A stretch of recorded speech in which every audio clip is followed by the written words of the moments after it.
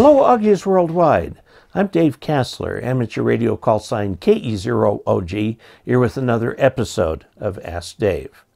Today we have a question from Kirk Anderson, W9KOA, and I assume he's not affiliated with the campground, so um, we go camping at the KOAs a lot. Um, and he's KOA, that's his uh, email address. His name is Kirk. And he says he doesn't have a question and then proceeds to ask a question. Um, he wants to ask me to please talk about etiquette when it comes to tuning one's rig up directly on the top of a frequency in use. Um, it says, I enjoy working parks in the air, and it seems that on every spotted frequency, some one or two or three center on it and then decide to tune up. It's not just POTA, but very prevalent on those spots. Um, he says, You have a lot of influence on the people in the hobby through your channel. Please help us improve the experience. Thanks in advance from Kirk W9KOA. Kirk, you're absolutely right. This has been a problem for many decades. It used to be that if you tuned your radio a few kilohertz off of where it was working before, you needed to tune it again um, before you could transmit and make sure it would work just right.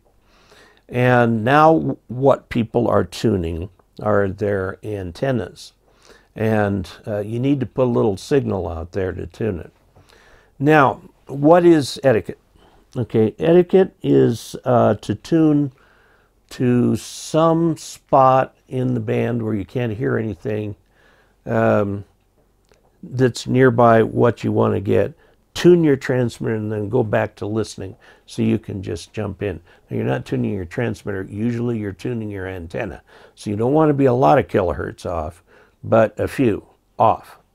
Now, uh, this problem of people tuning up on top of a DX station or a contest station or something like this, like I said, it's been around for decades.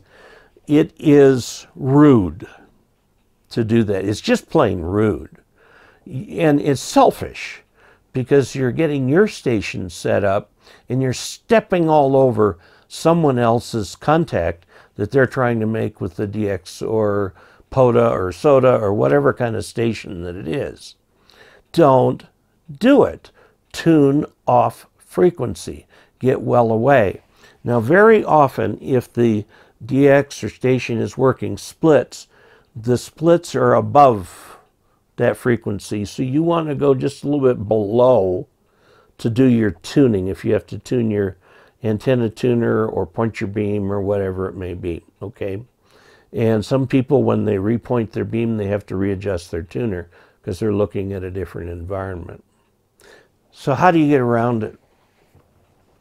There is a feature on all modern radios called an automatic notch.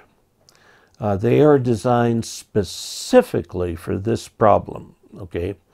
when you have a steady carrier on a frequency that you're trying to hear and the carrier is obliterating it, turn on the automatic notch. Some people just call it a notch. Um, and let's see what it is on this thing here. Notch, it just says notch, okay, on there.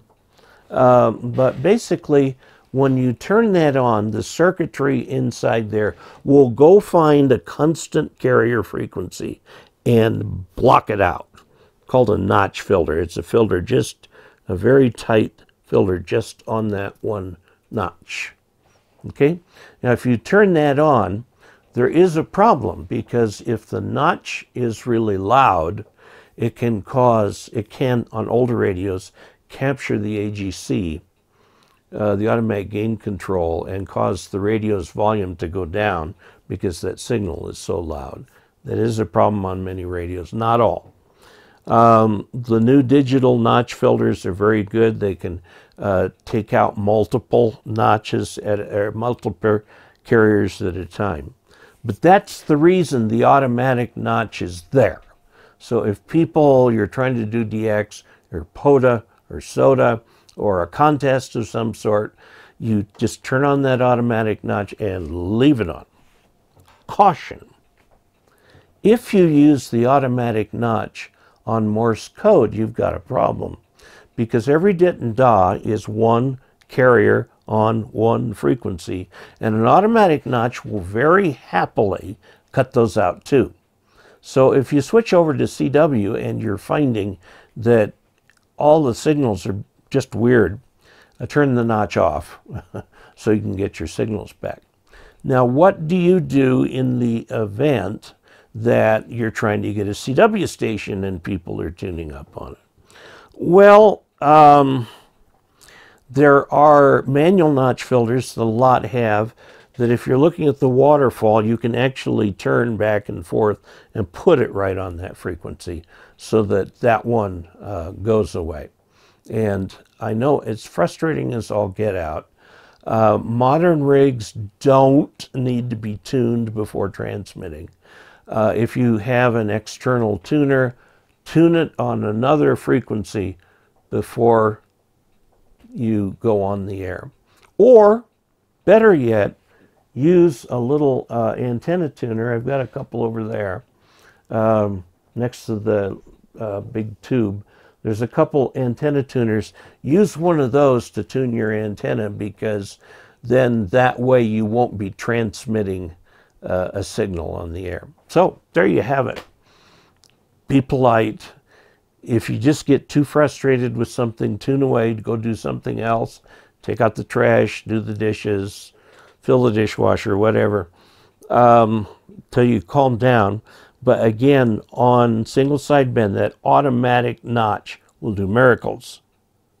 And if you're doing it on CW, you can use a manual notch, uh, which your radio will have. You'll have to read the instruction book, how to get that thing on it. You might practice that a bunch beforehand. So there you have it. Until we next meet, 73.